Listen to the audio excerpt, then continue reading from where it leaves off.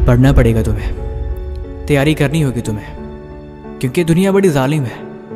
नाकामयाब लोगों से ऐसे चलती है जैसे कि वो कुछ हो ही नहीं। उन्हें कोई इज़्ज़त ही नहीं होती। घर पे माँ बाप सही से बात नहीं करते। दोस्तों में भी हमेशा की तरह प्यार नहीं रह जाता। एक वक्त के बाद अगर इंसान कामयाब ना हो तो उसकी ज़िंदगी बिल्कुल नर्क बन जाती है। इसलिए तुम्हें तैयारी करनी पड़ेगी, खुद के लिए। ये तुम्हारी जिम्मेवारी है। ये दुनिया, समाज तुम्हें ऐसे देखेगा जैसे कि तुम कुछ हो ही नहीं। कहने के लिए माँ बाप कभी धोखा नहीं देते। माँ बाप हमेशा अच्छे के लिए सोते हैं। लेकिन सच ये है कि तीस पैंतीस उम्र के बाद वो लोग भी ताने मारते हैं। अगर ज़िंदगी में कामयाब ना हुए तो। घूम फिर के बाद सिर्फ़ अपने पे ही आ जाती है। कुछ ना कुछ करने के लिए, कुछ बनने के लिए। करना पड़ेगा तुम्हें, हर हाल में।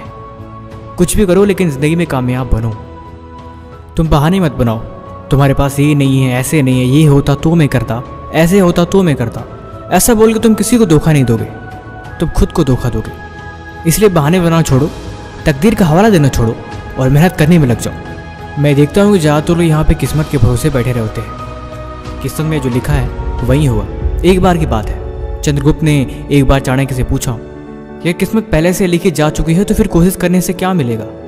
जो सब कुछ पहले से ही पता है कि हमारे लाइफ में ऐसा होना है फिर हम मेहनत क्यों करें? इस पर चाणक्य ने बताया कि क्या पता किस्मत में लिखा हो, वो तुम्हें कोशिश करने से ही मिलेगा।